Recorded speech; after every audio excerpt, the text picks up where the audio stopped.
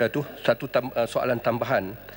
Adakah pihak uh, kementerian menganggap penyakit substance abuse dan juga uh, yang berkait dengannya itu penyakit-penyakit mental di kalangan orang muda sebagai juga penyakit kronik dan kalau dianggap sedemikian, apakah tindakan uh, pihak kementerian untuk uh, mengawal penyakit ini? Terima kasih. Terima kasih uh, uh, ahli yang berhormat. Walaupun tadi jawapan saya tertumpu kepada isu-isu berkaitan kepada penyakit-penyakit cara hidup atau lifestyle diseases. Tetapi saya setuju dengan apa yang dibangkit oleh ahli yang berhormat berkaitan uh, substance abuse dan uh, uh, isu-isu kesihatan yang uh, datang dengan substance abuse. Uh, kita tidak boleh lari daripada uh, perkara bahawa substance abuse ialah satu isu yang besar di dalam negara kita, khusus di di dalam kumpulan muda. Uh, dan uh, dengan ambil kira bahawa pada masa sekarang uh, ada perubahan di dalam cara substance abuse manakala di dulu ialah mereka menggunakan uh, substance seperti opium dan ganja dan heroin dan sebagainya. Tapi banyak daripada yang digunakan sekarang ialah apa yang dipanggil synthetic drugs. Uh, yang banyak daripada amphetamines dan lepas itu melalui proses-proses sintesis uh, menyampai kepada bahan-bahan yang lain dan uh, ubat-ubat substance abuse baru ini yang menjadi substance abuse synthetic memang kesannya teruk.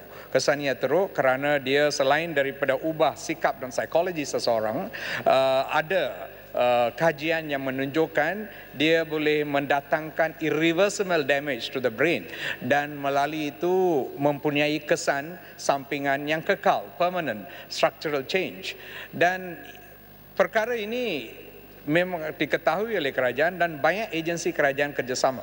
Di dalam ini bukan Kementerian Kesehatan sahaja yang bertanggungjawab, agensi kerajaan seperti KDN, Pemadam uh, dan uh, uh, semua kerjasama uh, di dalam usaha ini dan uh, ke Kementerian uh, melalui majlis merawati Uh, mereka yang mempunyai substance abuse uh, dengan kerjasama pemadam uh, melalui uh, pusat-pusat uh, uh, rawatan untuk mereka. Selain daripada pusat serenti sekarang uh, cara ialah uh, untuk memberi rawatan di dalam community not institutionalized. Dan macam mana kita boleh memperluaskan ini uh, melalui rawatan yang diberi di dalam uh, uh, community uh, melalui pusat-pusat CNC yang telah diwujud boleh uh, pemadam dan oleh Kementerian Kesihatan dengan kerjasama yang begitu berkesan uh, supaya kita boleh sepenuhnya memberi rawatan kepada kumpulan-kumpulan ini dengan mengesan mereka dan rawatannya seperti yang amat berhormat mungkin tahu ialah it's uh, multifaceted. Uh, bukan saja daripada rawatan perubatan ada psychosocial rehabilitation daripada memberi mereka kekuatan untuk balik kepada masyarakat dan penerimaan di dalam kalangan-kalangan masyarakat kepada bekas-bekas penagih ini.